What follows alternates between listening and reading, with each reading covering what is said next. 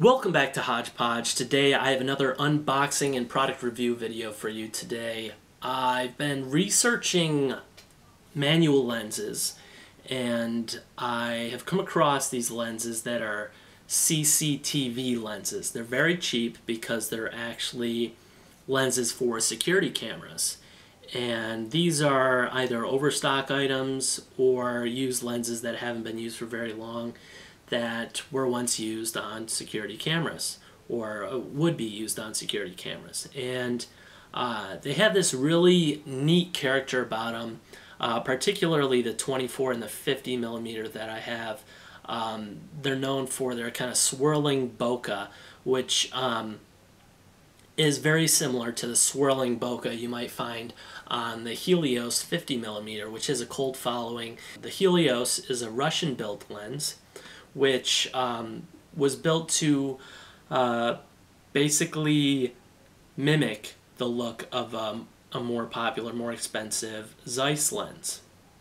Now the Helios um, is well known for this swirl, and when I found out that the CCTV lens also has this same swirl for uh, a fraction of the cost, I figured I'd try that as well. As if the Helios wasn't cheap enough already, I think the most expensive one I've seen is maybe uh, 60 80 dollars and the cheapest I've seen is maybe 20 so we have the um, uh, 8 millimeter uh, CCTV lens so super wide angle for uh, urban scapes and such and then we have a 25 millimeter which has the adapter on there. This is made by Pixco, uh, the lens and adapter.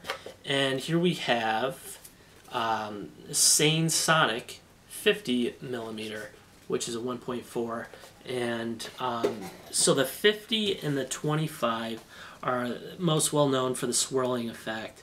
And the 8 millimeter I just bought because um, I really need a wide angle and I am not ready to drop a ton of money on a wide angle. Now, one great thing about these lenses is that they are all manual and I am looking into um, sometime in the future purchasing a manual lens or a cine lens and these will do that for you that if you're a novice or a beginner like myself and you're looking to um, get into uh, manual focus pulling and uh, you need an inexpensive start uh, I would I would definitely encourage you to go with a CCTV lens. Now, a lot of the research I have done on lenses uh, really brings me to the conclusion that a lens is all about the character. The characteristics and qualities of your lenses will bring an extra layer to your aesthetic choices with your productions, and uh, I'm really looking to um, to play around with that swirling bokeh effect. And the good thing is these all can be adapted to the Sony E-mount. Uh, I have here the A6300, um, and really looking forward to using these, uh, trying these out. So um, make sure on your camera when you put on the adapter, because these are manual lenses, make sure you put it into uh, manual focus uh, so you don't burn up the electronics with inside your camera. And um, so here we go. So right now I'm about two feet minimum focus distance uh, is what I would say to my night blooming cereus plant here. And I'm currently shooting at 6400 ISO. Doing a little sample video here. And I'll do a little focus pull for you.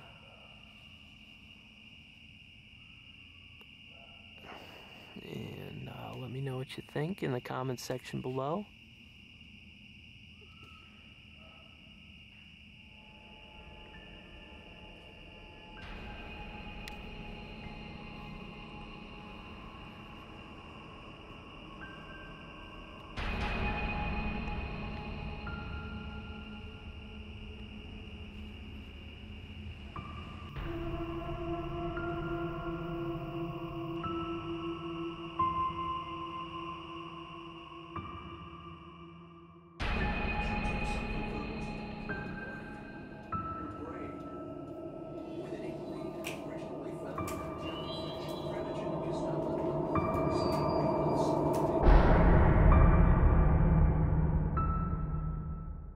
Hope you liked the mini horror flick I created there. It seemed appropriate given the sample footage I took. So in this video we are going to be talking about the Pixco 25mm f1.4 CCTV lens for the C-mount camera, plus the C-mount movie lens to Sony E-mount NEX camera lens adapter.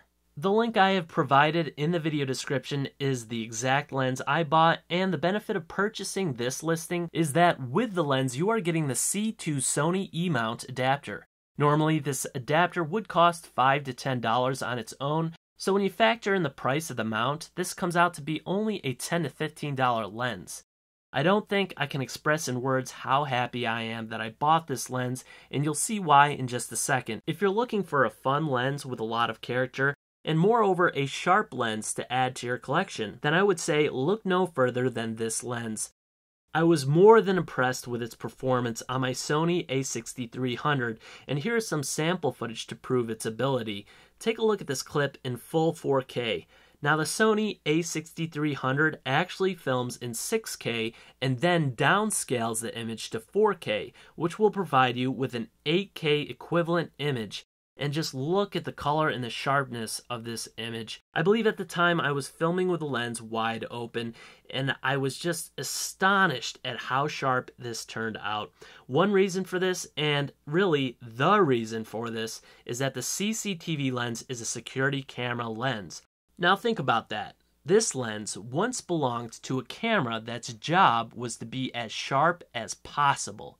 Outdated and no longer needed, these lenses are plentiful and available at low costs. I highly recommend you try this lens out. Now, if you're sold, there are a few things to keep in mind. The first thing is that yes, these lenses will need to be adapted. What this also means is that the focal length will change. I think this 25 ended up looking more like a 35 or even a 50 millimeter. When not shooting wide open, you will have to significantly crop the image, which is why I would recommend only using this lens wide open or nearly wide open, unless you like that look and decide to leave it as a stylistic choice. You might be able to avoid this with an extension ring, which I will also link in the video description below. I've not tried this method, but keep in mind an extension ring will also affect the focal length of the lens. If your camera has the megapixels needed to crop the image, then you might consider stopping down the lens for added sharpness. The other thing to keep in mind is that the lens does have some distortion, which could be an interesting effect, but can also be taken out easily in your video editing software. I use Premiere Pro and will show you how to get rid of the warp before the end of this video. The final thing to keep in mind is that the lens has this neat swirling bokeh effect, which is as desirable as it is unwanted. It's almost like a cheap anamorphic look, but what you may find with this lens is that your subject needs to remain centered. There were a few times where towards the edge of the image my subject became less sharp or even distorted. This is why a lot of YouTubers are recommending this lens for still photography. So I will show you some stills I took with this lens where my subject is centered and you can see the swirl I'm getting towards the outside. The other reason why someone might recommend this lens for stills is because of how difficult it is to access the focal ring when using the adapter. I was able to solve for this by making my own focus shifter out of wood, which I will feature in another video. I wanted to point out that I made a wooden focus pull shifter, um, which I find to be really helpful because, especially with this adapter, which is indented, it was very hard to uh, get my fingers around that focus pull. And it, it, was just impossible to use without getting my fingers in the picture. And so uh, I just wanted to point that out that this is going to be a really difficult lens to use without some kind of focus shifter. So here's a shot I took with this lens that I ended up liking the most.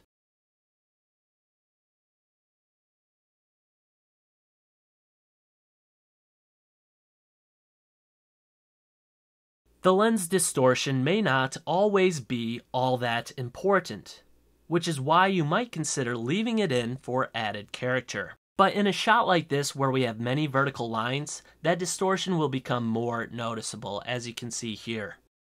To remove lens distortion in Premiere Pro CC, There are several ways of doing this, but what I did and what you can do is go to your effects menu and select Video Effects, Distort, Lens Distortion, and adjust your curvature. The sweet spot I found for my lens was at negative 9. The one complaint I have with this lens is the slight hangup I get when focusing. Uh, honestly, now though, with, with the focus pull, it's uh, running a lot uh, more smoothly. But uh, if you hear that, that is some clicking. And uh, I'm not very happy about that, that clicking. Uh, this is a brand new lens. Really shouldn't be doing that. And the, the issue is not like, you know, I don't use the internal audio on the camera, so it's not a huge issue for, um, you know, audio-wise, but when it comes to uh, the stillness of the shot, every time I hit those bumps, you know, the camera shakes. And, uh, know, if you want a still image or a smooth shot, that's going to interfere with that. And it could just be the iteration I purchased. I'm not claiming that all 25mm CCTV Pixco lenses come this way. And that leads me into my next topic. That is natural lens variation. The natural variation you will see between iterations of the same lens. I could buy this same lens again, and this goes for all lenses, but you may find that the same model lens will vary from iteration to iteration. Some may be sharper, some may have more distortion, some may focus more easily. So I bring this up because you might find that your lens is just not the same as mine or others that have been purchased. One thing that I do wish I had done differently was use a lens hood. As you can see here, in a lot of the shots I was taking with this lens, it seemed as though there was way too much light hitting the front element, giving me some flare and milky glow. Granted, I was shooting wide open on a sunny day, and sometimes it's hard to tell while shooting in RAW if you're overexposed, so it may be possible that my ISO or EV was set too high, but I think a lens hood would have helped me in some of my daylight shots. If you're interested in seeing more sample footage I took using this lens, please check out my Paul Reed Smith's masterclass at Ish Guitars video. Overall, I am super happy with the sharpness and depth of field I was getting with this lens. The tiny click in the focus made it hard to do a smooth focus pull, but I am getting better. I can't tell you how much I love this lens though, even with its small flaws. If I were you, I would not second guess this purchase. At the time this video was made, the lens and adapter were listed at just $25.99, which is a great deal considering the quality of the picture you're getting and the adapter that comes with this lens. As I said before, I'll leave a direct link to Amazon in the video description below. I appreciate you guys using that link, it does help out the channel. If you enjoyed this video, please leave a like or a comment. Check out my other videos and subscribe.